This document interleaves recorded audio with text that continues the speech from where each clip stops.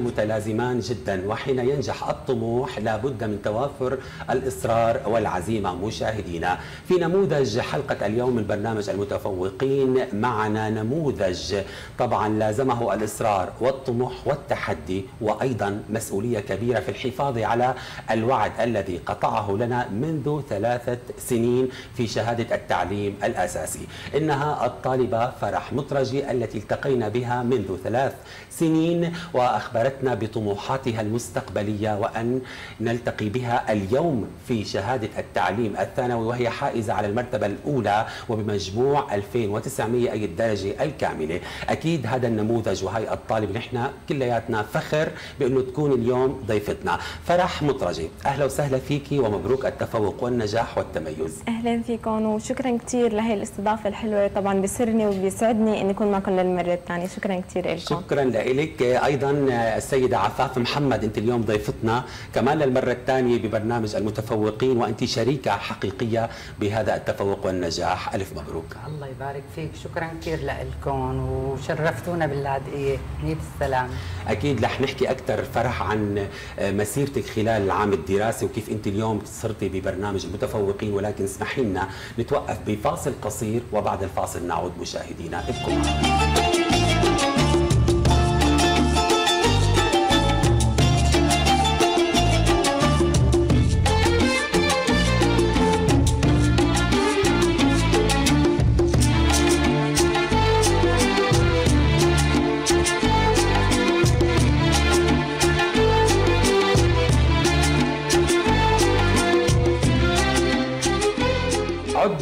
مشاهدينا مباشرة لك فرح. يعني اليوم نحن كثير فخورين فيكي إنك قدرتي فعلا تحققي وعدك وتنفذيه وإنك تبهرينا بمجموعك بالدرجة الكاملة بعد ما نحن كنا بفترة سابقة وببرنامج المتفوقين من ثلاث سنين وكنتي طالبة الأولى بشهادة التعليم الأساسي.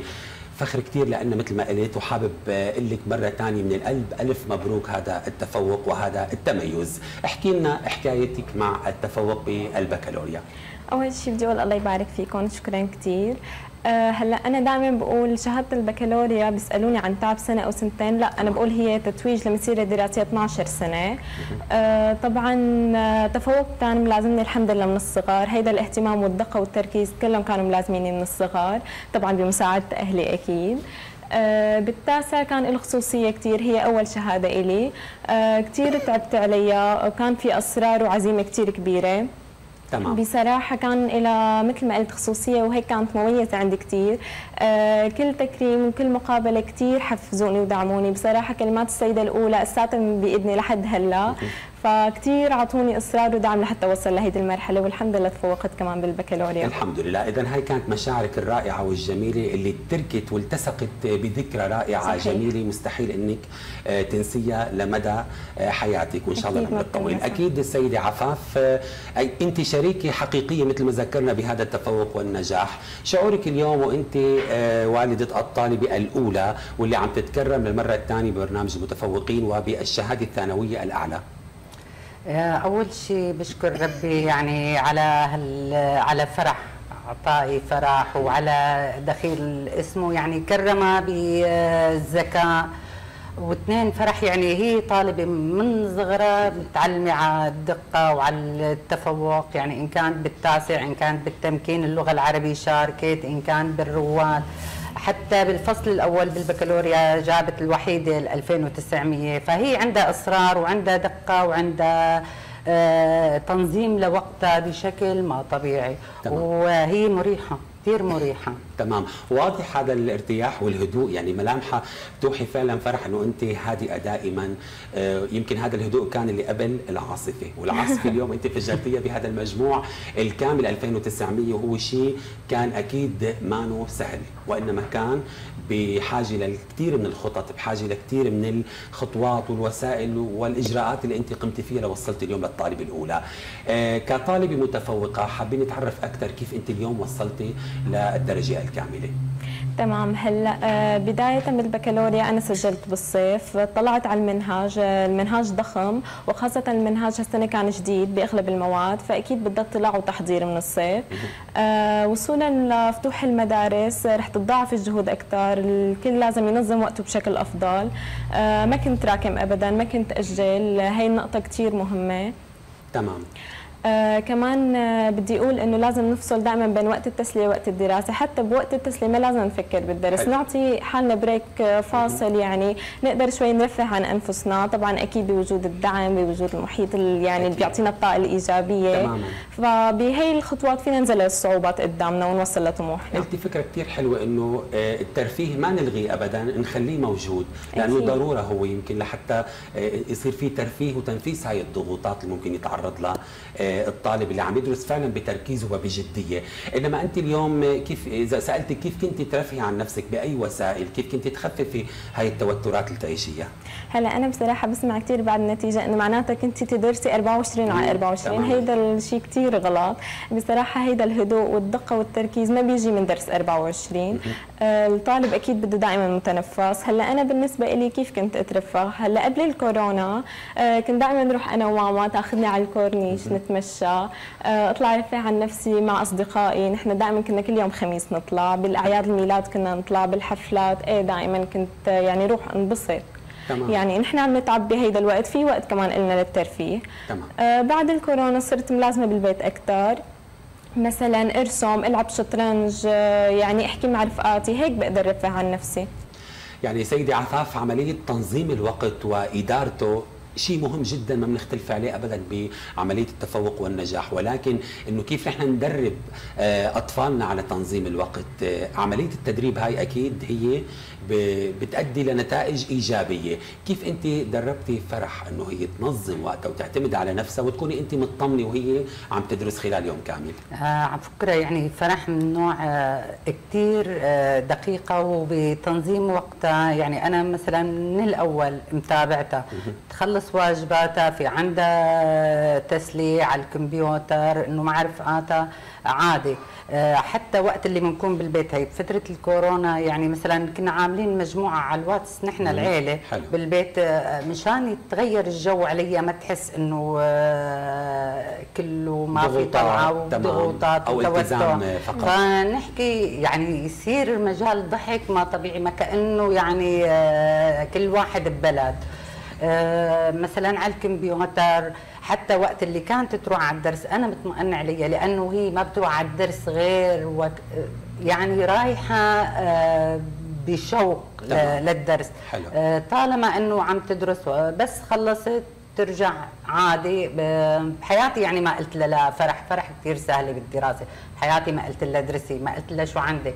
رغم إنه أنا بفترة الكورونا ما بقى في يجي مدرسين على البيت ولا في معاهد. يعني استلمت نعم. العلوم أربع مرات سمعت له فيه. استلمت القومية استلمت الديانة. كنت ملازمتها بكل خطوة. طلعتي انت حافظة المنهاج. وهلأ قادره أنك تقدمي البكالوريا وتنجحي فيها. أنا بكالوريتي علمي ففيني أعيدها. ما تعبتي ما كنت تحسي بتعب مع مع المراجعة مع فرح مثلا كأم لطالبه متفوقة وكأولياء أمور. يعني الأدوار اللي ممكن تقوموا فيها غير إنه المتابعة وتخفيف الضغوطات النفسية. آه، أنا ما كنت أتعب لشيء كنت أتعب بس من شغلة.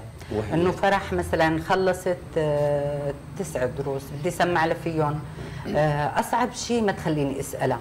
يعني أنا ماسكة الكتاب ما شاء الله علي آه، بعدين بالأخير قلت لها فرح خليني هيك أسألك أسئلة عشوائية يعني خليه يكون فأسألها يعني كنت لما بتلاحقها انت وبتسمع لها بتكون مطمئن أكثر آه فلا هي مريحة كثير مريحة بالدرس. طيب فرح المنهاج الثانوي متشعب وكبير وفي كم من المعلومات. كيف كنت تسيطري على هاي المعلومات بحيث إنك ما تنسيها وما تفلت منك ولا معلومة خاصة بالامتحان؟ تمام. هلأ بس بدي نوه لشغلة. نحن منهاجنا الحديث ما بيعتمد بقى إنه نبصم سنة ونروح نقدم فيها امتحان. بظن شهادة الثانوي المنهاج فيها متسلسل ومتكامل من العاشر المعلومات يعني تراكمية وخاصة آه، يعني آه، بالبكالوريا الفكرة مثلا خاصة بالمنهاج العلمي مثلا علوم فيزياء كيمياء بهالشغلات نحن ما بكفي مثلا نحفظ الفقرة ونروح يعني نسخ لصق على ورقه الامتحان إيه، لا. حفظ الببغاء بتقصدي إيه. يعني تمام. آه هون هيدي الشغلة ملغية بالمنهاج الجديد. آه صار في مهارات أكثر مثلا الفهم التحليل الاستنتاج هدول المهارات كثير مطلوبة منا تماما. ولازم ننميها من نحن وصغار. كيف نميتي يا فرح لهي المهارات؟ غير مهارة الحفظ طبعا التقليدية. هلأ آه أول شيء بالكتاب الكثير من المخططات والرسوم هيدي إنه كثير من الطلاب يعتبروها هي ثانوية إنه بس للمساعدة. هي لأ بالعكس هي الرئيسيه بصراحة. آه، إنه آه أنا يعني من الناس اللي كنت مثلا ما أقري الفقرة بس عم أطلع فيها. بقري الفقرة بقرأ ما بين السطور بالرسمة. حلو. كثير بتساعدني هالشغلة. كنت تعتمدي معناتها على الكلمات المفتاحية بكل مادة إيه اللي هي بتحرض آه،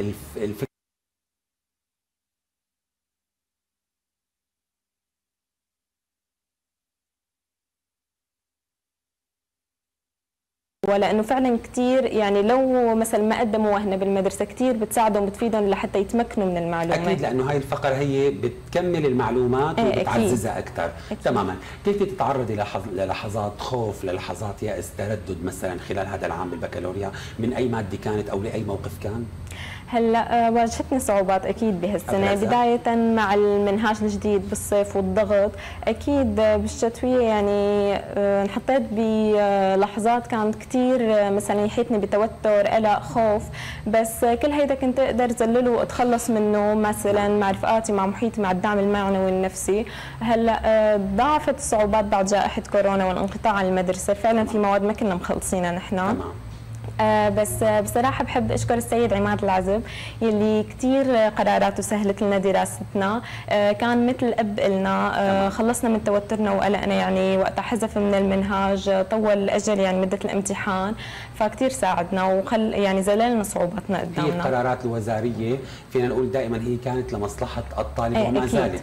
تماما. بهاي المرحلة سيدة عفاف مرحلة الحجر المنزلي كيف أنت كنت تتصرفي مع فرح بتهيئة الجو النفسي بالدعم المطلوب منك كأولياء أمور لحتى تضل عم تدرس أكثر خصوصي أنه كانت فترة شوي صارت طويلة بحيث أنه ما يطغى الملل على عملية الدراسة والحماسة والاندفاع الذاتي. آه، بفترة كورونا آه، خاصة يعني.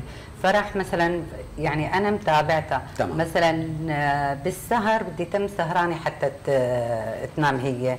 آه، بالبيت مهيئت لها جو. في عندها اخواتها كمان يعني كثير كانوا يساعدوا على فترة الراحة فترة الدرس يعني كونه كمان هن متفوقين آه، مروا ومرح مترجي سنه رابعة طب بشري. فهي قدوتها يعني ما بدها حدا إلا مثلا فائت الصبح تقعد ساعتين ثلاثة تخلص تجي. يعني البيت كله بدك تعمله نموذجي مشان تريحها من كافة الوسائل. تماما وبالتالي إنه هذا الثقة اللي عم يمنحوك إياها أهلك فرح يعني أكيد هي اعطيتك شيء من المسؤولية حمليتك شيء من آه، الواجبات. آه، شو كنت أنت تحسي؟ شو كنت تشعري لما كانوا أهلك يعاملوك بكل ثقة وما يضغطوا عليك ابدا بالدراسة؟ هلأ أنا من الصغر لحد هلأ بتذكر وقت ماما كانت تمسك بإيدي لحتى تعلمني كيف أكتب الحرف فيعني هدول اللحظات ما بتنسوا هي اللي رح تبني المسؤولية عندي والثقة بالنفس. هيدا الجانب من المسؤولية كثير تعزز بين التاسع والبكالوريا. يعني بنشوف قديش عم يضحوا كرمالنا. كانت تفيق معي تسهر معي. يعني أنا بقول أهلي هن جابوا ال 2900 معي. الشريكين الحقيقيين آه، فعلا أكيد. في هذا المجموع آه فكثير عززوا ثقتي بنفسي. خلوا يعني كثير لهي اللحظات اليأس والتعب كانوا لأ إنه مثلا يتركوا الدرس كله إنه خلص تعي بدنا نقعد نتسلى. إنه كل هيدي اللحظات فعلا عطني الثقه بالنفس وهيك قوت شخصيتي يعني. طيب المواد اللي كنت أنت تحسي حالك هيك مرتاحة أكثر من غيرها وأنت عم تدرسيها اللي كانت تحفزك اللي كانت تعطيك ارتياح نفسي شو هي هاي المواد؟ وليش تحديدا هاي المواد؟ هلا أنا بصراحة بعد التاسع يعني فت إنه على القسم العلمي فكانت أكيد المواد العلمية هي أكثر يعني هيك محببة لي أكثر الرياضيات وخاصة مع الأستاذ أستاذ عبد الرحمن غزول. آه، بصراحة كان يعاملنا كأب كرفي آه، كانت حصصه بصراحة كثير إنه نتشوق لنروح عليه كثير نتسلى فيها. آه، أكيد يعني حتى وأنا مثلا إذا كنت مالي أو تعبانة إنه من الدرس بس إنه يعني في معي وقت دراسة كنت روح أدرس رياضيات أتسلى فيها كثير هيك يعني بحب الماده بحب أتعمق فيها. تماما. المواد اللي كنت ممكن تحسي إنه يرح لك فيها أجزاء من العلامة أو علامة شو هي هاي المواد وكيف كنت تتجاوزي هذا الخوف؟ هلا آه، أنا طلعت من الامتحان متوقعة إني علامة تامة بس دائما بيكون في خوف من الأجزاء. مثلا مواضيع العربي دائما بيكون فيها خوف من هدول الأجزاء يعني.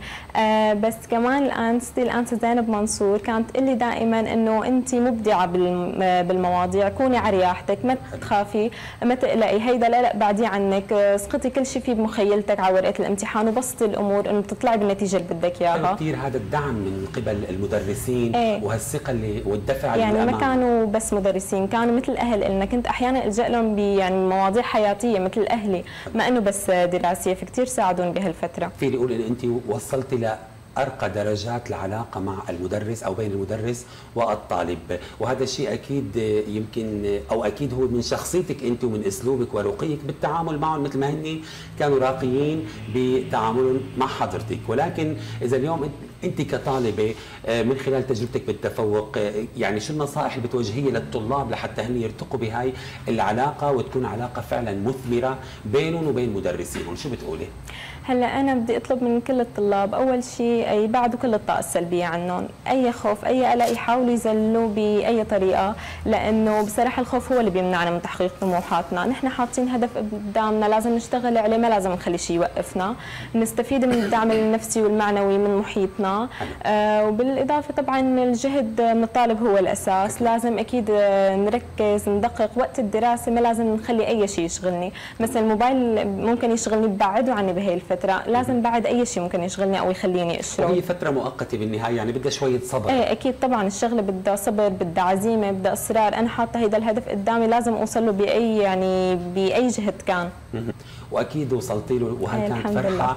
لا تنتسى. ولكن اليوم يعني أنا في هدف وفي خطة وفي إدارة وتنظيم للوقت الصح الصحيح لحتى أنت وصلتي لهذا الهدف وهذا الطموح. التفوق له معاني كثير صار وفي له يعني أبعاد كثير بحياة كل إنسان فينا. ولكن أبرز عوامل التفوق اللي ممكن آه، إذا حضرت يحضر التفوق معه. شو بتقولي لنا فرح؟ هلا أنا بقول أول شيء الثقة بالنفس لأنه هي بتجيب توفيق من رب العالمين تمام. الجهد المضاعف التركيز الدقة إنه نستغل أي شيء إيجابي ممكن يحيط فينا لحتى نسخره لتحقيق طموحاتنا. حلو الكلام كثير وبالتالي يعني إنه بيكون النجاح سهل والتفوق ما بالأمر المستحيل ابدا. طلاب كثير من زملائك يمكن اللي كانوا معك وما حالفهم الحظ بالتميز وبمجموع عالي ويمكن اللي اضطروا إنه يعيدوا السنة واللي هن السنة الجاي مقبلين على البكالوريا. خافوا كثير من البكالوريا ترددوا كثير أنت هون شو بتتوجهي بكلمة لهم لحتى هن هذه المشاعر وهذا الخوف يعني آه، فينا نقول إنه يتلاشى من خلال تجربتك أنت آه، وأنت زميلي لهم يعني ومثل ما بيقولوا بالعامية بيفهموا عليك وبتفهمي عليهم. شو بتقولي لهم لحتى الخوف يروح؟ هلا آه، أكيد أنا بدي أوجه لهم كلمتين يعني بما إنه أنا من اقرانهم يعني نفس العمل فلازم إيه يعني نطبق على بعض. آه أنا بدي أقول لهم ما في شيء مستحيل. ممكن نعيد السنة مرة مرتين بس هيدا الشيء كله آه بعد صبر والعزيمة والإصرار والتركيز بالدراسة رح يكون إستطعمه أحلى. التفوق ما في أحلى منه لو اجى متأخر. هيدا شيء بيتبع لكل طالب حسب دراسته. تمام. بس بالأخير لازم نوصل لطموحاتنا وأهدافنا. لو شو ما أخذ من وقتنا أو من جهدنا أو من تعبنا. تمام. بيوم الامتحان كيف كنت تتصرفي بيوم الامتحان تحديدا مع المادة مع الموقف بشكل عام؟ أكيد هو في خوف يمكن لأنه هذا خوف طبيعي. بس أنت كيف كنت آه، تعيشي يومك الامتحاني؟ من لما تستيقظي من النوم لوقت تستلمي ورقة الامتحان فرح. هلا آه، بداية نحن خايدين هاي التجربة من قبل بالتاسع فيعني شوي متعودين عليها. أه هلا أنا مثلا كانت دائما تقول لي ماما إنه قبل بيوم من الامتحان خلص مثلا الساعة 7 أو 8 المساء نوقف درس إنه شيلي الكتاب من إيدك؟ خلص هيك رح توتري بزيادة.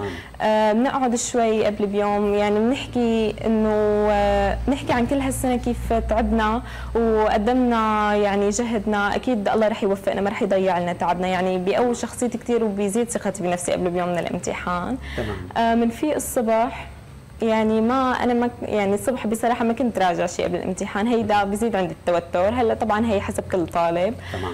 آه بروح على الامتحان أهلي دائما مرافقيني.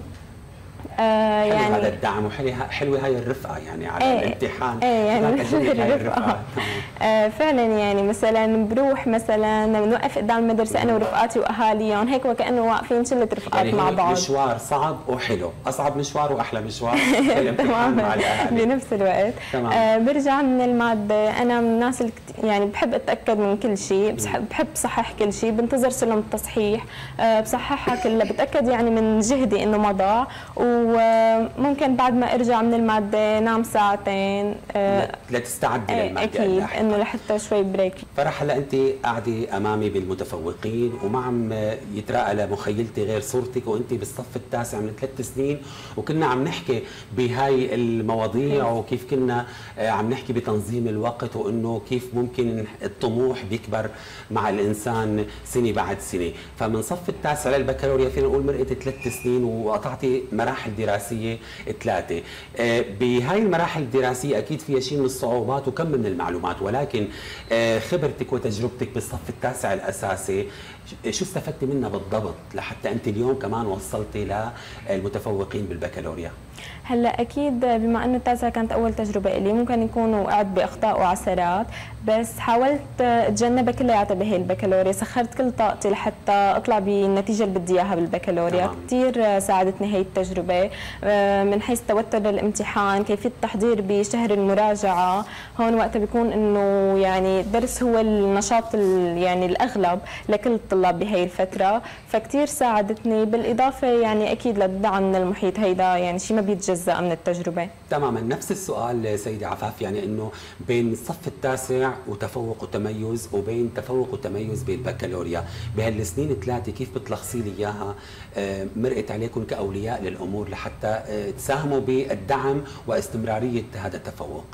لا آه، فرح يعني تابعت تفوقها حتى بعد التاسع بالعاشر طلعت الأولى على المدرسة. يعني على طول بالحادي عشر نفس الشيء. تمام. آه يعني مو هملت شيء ما في داعي إنه كنت أنا مثلا وجهها لأنه هي بتعرف آه درس فوق كل شيء. تمام. فهي تابعت وتعبت والحمد لله نالت النتيجة المرضية. فينا نقول إنه كل سنة العاشر حادي عشر تعاملنا معها كأنه هي فعلا بكالوريا. إيه طبعا. تمام. هلأ هي تعاملت معها. أنا بالنسبة لي لا تركتها على راحتها. على راحتها. بس الطالب لما اللي بيكون حاطط هدف قدامه وهو عنده قدرة إنه يطلع ويدرس ويتفوق ما معقولة إلا تابعت هي بنفس الوتيرة. تمام. ما أنا ما ضغطت علي ابدا. يمكن هذا اعطاك كمان مسؤوليه أكثر وأعطاك شعور بالأريحية أكثر آه، الحلو بمسيرتك الدراسية إنه أنت آه، أعطيتي وقت للترفيه وأعطيتي وقت للدراسة وهذا كان وليد آه، سنوات وشيء متراكم من تنظيم الوقت ومن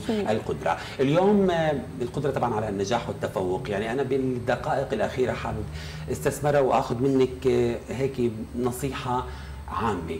بتوجهيها لكل اللي عم بيتابعونا. آه، يعني شو بتقولي لحتى الكل يكون اليوم بمكانك بالمتفوقين؟ هلا أنا بتمنى من كل الطلاب يتبع الشيء مثلا اللي بيحبوه. آه، مثلا بعد التاسع أي طالب ممكن عنده ميول تجارية مهنية صناعية يفوت الشيء اللي بحبه لأن اللي بيحبه لأنه بيبدع فيه أكثر هلا مثلا أنا مثل ما قلت لحضرتك إنه الرياضيات والعربي كنت أحب أدرسهم فيعني ببدع فيهم أكثر ببرع فيهم. فبتمنى من الكل آه، بالإضافة لحب العلم وهيدا الشغف آه، بالتفوق آه، بتمنى منهم يحطوا قدامهم هيدا الهدف. مهما واجهتهم صعوبات ما ييأسوا ما يقلقوا من أي شيء يستفيدوا من كل طاقة الايجابيه اللي حواليهم ويحاولوا يسخروا طاقاتهم ليحققوا هدفهم. بالختام فرح اسمحي لي أقدم لك باسم فريق العمل شهادة تكريم تفضلي. هاي عربون محبة وتقدير للجهود ولأنك وفيتي بوعدك. من ثلاث سنين وعدتينا تكوني من المتفوقين وإن شاء الله يعني بالمرة المراحل القادمة دائما بتكوني بالمتفوقين. وأيضا اسمحي لي أقدم لك هدية رمزية من وزارة التربية طبعا. هاي الهدية كمان هي لتذكرك دائما إنه التفوق جميل جدا ويجب المحافظة عليه. قبل ما أختم الكلمة الأخيرة لك لمين بتهدي هذا النجاح ومين بتشكري بنجاحك بالبكالوريا وتفوقك؟ أول شيء بدي أشكر رب العالمين الحمد لله على يعني إيتاء الصبر العزيمة. طول هالثلاث سنين لحتى أوصل لنتيجتي. آه، بظن كلمة شكر رح تكون قليلة على أهلي آه، لأنه هن اللي جابوا ال 290 معي فيعني هيدا النجاح هو كله مقدم لهم لأخواتي اللي هن قدوتي بالحياة كانوا بجنبي وقت الدراسة بوقت التسلية مرح ومروة مطرجي طبعا بدي أقدم هيدا النجاح لأمنا العظيمة سوريا للسيد الرئيس بشار الأسد والسيدة الأولى أسماء الأسد يلي أكيد دعمهم وتحفيزهم التاسع هو كان سبب كبير بهذا النجاح. أه بدي أشكر وزارة التربية أه على دعمهم كمان إلنا واهتمام بالمتفوقين. آه كمان بحب وجه الشكر لمدرستي. مدرسة الشهيد كوميت بلادي المتفوقين باللاذقية وجميع الكادر التدريسي فيها. وبخص بالشكل الأساتذة سعد نصرة والأستاذ عبد الرحمن غزول والأنسة زينب منصور يعني عن جد كانوا أهل إلي. وكمان آخر شيء بحب أشكر وأهدي هيدا النجاح لجيشنا العظيم وجيشنا الطبي بالمستشفيات اللي عم يضحي كرمالنا. وبصراحة بعد البكالوريا أنا كثير آه، حابة أن أكون عضو فعال معهم وشاركهم بهي التجربة. أكيد رح تكوني عضو فعال. ونحن بانتظار إنجازاتك على الصعيد. المهني وحتى نسمع أخبارك آه، بالتفوق والتميز بالمرحلة الجامعية. كلمة أخيرة لك سيدي عفاف. أنا بدي أتشكركم على استضافتنا وبدي أشكر السيد الوزير آه، عماد العزب وبارك للسيد الوزير الجديد. دكتور دارم طباع آه، وأنا آه، بالنسبة لي كمان الشكر للسيد الرئيس والسيدة الأولى أسماء الأسد لأنه وقت اللي استضافت قالت أنا متابعتكم وفعلا يعني تموا على تواصل بالعاشر بالحادي عشر يسألوها عن النتيجة بتقول لهم الأولى. ولجيشنا العظيم وللجيش الطبي ولكم كل الشكر. شكرا لكم وإن شاء الله نلتقي دائما بمناسبات التفوق والتميز بمسيرتك. فرح مطرجه الحائزه على المركز الأول في الشهادة الثانوية الفرع العلمي بمجموع وقدره 2900 درجة. الكامله كنت اليوم أنت نجبتنا وضيفتنا. وأيضا اضفت لنا هيك طاقة إيجابية اعطيتينا وجميله جدا لا تنسى ابدا جزيل الشكر لحضرتك. شكرا كثير لكم شكرا لاستضافتكم واهتمامكم بالمتفوقين بصراحة هذا الدعم هو اللي عم يحفزنا نتفوق أكثر أيضا شكرا لك سيدي. شكرا كثير لك اذا مشاهدينا مع هاي الحالة النادرة والاستثنائية لطالبه حصلت على الدرجة الكاملة بدون نقص أي جزء سواء في شهادة التعليم الأساسي في السابق واليوم في شهادة التعليم الثانوي. الفرع العلمي كان مسك ختامنا. على المحبة بدنا نودعكم مشاهدينا ونلتقي في حلقة جديدة من برنامج المتفوقين. إلى اللقاء.